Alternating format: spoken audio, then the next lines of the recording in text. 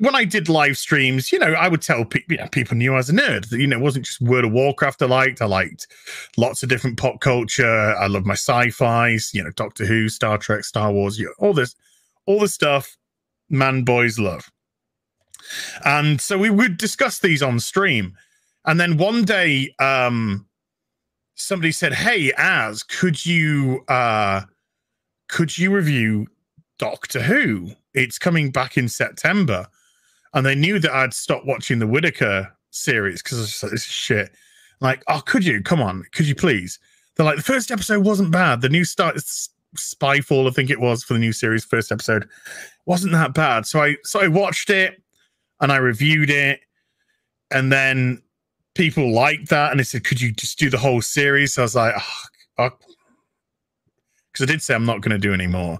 I was like, okay, okay, you got to give your fans what they want, you know, you got to. So I was like, okay, they invest their time, do it.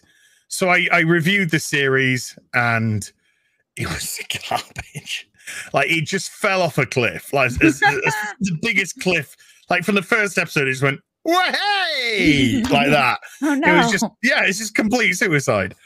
And um because I was a Doctor Who fan anyway, uh, I I was watching channels like Nerdrotic and I was watching channels like uh, Bowlestrek uh, because I like their their Doctor Who takes. Um, because you know the show was shit, so it was it was nice to kind of see someone else, you know, listen to someone who who was articulate that was like, no, this is this is shit. It's not you. This is real shit stuff. And um uh, Bowlestrek and I followed each other on on Twitter. He followed me on Twitter. I followed him, oh, I was following you know either either. And uh, he would he like message sent me a message one day, and he, uh, private message, just like, hey, dude, I just want to say that I watch your videos and I really like your videos and you know your Doctor Who stuff. So I was like, oh, thanks, man. I, I actually watch your stuff, you know. Aww, um, so I was like, yeah, yeah. It's just like it's just like, oh, you know, it's just nice. Nice when you kind of get that, um, because you know it would have been awful, be awful. if I really like your stuff, and you're like, oh, Oh, who are you? Who are you? You? Yeah, you again. And um, he just he just uh start he he said that oh he does a podcast where he talks about Doctor Who. So I was like, okay, yeah, that sounds that sounds like fun.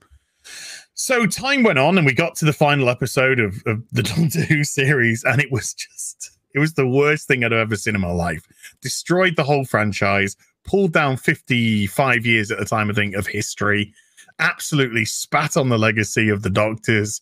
Uh typical BBC um intersectional garbage, uh hypocritical as well, because the stuff that the women were doing were horrific, but we're like heralding them as heroes. This woman's murdering kids over and over again to discover the secret of regeneration, and they're, they're talking What's about her name? Hillary. yes, Clinton, and uh, and they were heralding her as like, oh, she's just amazing scientist, amazing scientist. Amazing. She's like, she's just murdering kids. So Bowlestrek uh, on Twitter, I saw him just like tweet out saying, going going live on podcast to talk about Doctor Who. Now I thought he meant on his podcast. So I messaged him and I said, dude, put me in the team coach. I'm ready. Because I was like spitting feathers about this episode. But he was actually going on to Nerdrotic's channel to discuss it Wow. uh, which I didn't know. And then he, I think he sent a message back saying, "Oh, I'm, I'm on I'm on uh, a different guy's channel." I was like, "Oh, you know," like, "Don't worry, don't worry about it then." And then um, a little bit later, I got a, "C- "Oh, come and join, come and join, dude." So so I I clicked on and I and I joined, and there was Gary uh, from Nerdrotic, there was Bowlestrek, uh, there was a, a lass called Starry Eyed Girl, who's lovely, and then there was myself and I was on my bestest behavior because I didn't know these, you know, I didn't know them to talk to them. This is the first time actually talking to them, even though I've watched the videos. And we just discussed the the Doctor Who episode, and and we all got on. And Gary was just like, "Hey, do you want to come back uh, on Friday on my channel? Do I do this sh- podcast called Friday Night Tights? Uh, you know, would you come along as the guest?" I was like, "Yeah, I'll come along as the guest." Uh, so I was like, I felt really kind of like um excited about that, you know. And uh yeah, I went on to Friday Night Tights. Um I I had a good time. Uh, Jeremy was just like, "Oh, I like this guy." Because it's the first time, the first time I dealt with Jeremy from Geeks and Gamers as well. But I was aware of Geeks and Gamers because I watched Geeks and Gamers stuff. So uh, there was, you know, Odin I didn't know, and and Comics Division I didn't know at the time, but um, you know, obviously got to know them through that. And I think another week went past, and then a week later, Gary got in contact again. It's like, hey, do you want to come back to Friday Night Tights this week again as the guest? And I was like, I'll come back again. Wow. And um, then they just invited me back every week.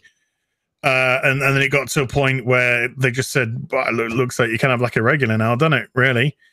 Uh, you know, do you want to do you want to stay on? I was like, yeah, yeah, yeah. Wow. Um, so that so from from that sort of uh, meeting with Gary and stuff, uh, I sort of kind of entered the the pop culture war there. Uh, in terms of oh, this is great. These are people who are talking about franchises I love, and uh, they're kind of saying the things you know, not sound so echo chambery, but they're saying the things, the problems which I think the shows are having. Um, and it's interesting to to find these people because if you go out to the to the press oh it's, it's wonderful this is the Mm. greatest show it's it's, ever been improvement. Yes. finally doctor who has got six labias you know and all that sort of stuff